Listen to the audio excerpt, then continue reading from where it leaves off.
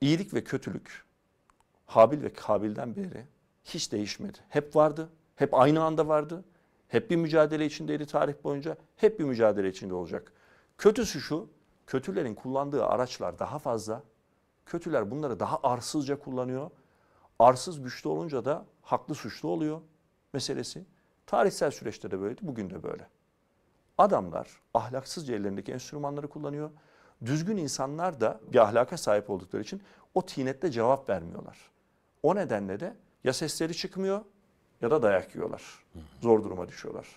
Ama en büyük acıları yaşadığımız, her şeyimizi kaybettiğimiz bir iklimde bile kötülük planlayanlar vardı ve kötülüklerini yaptılar.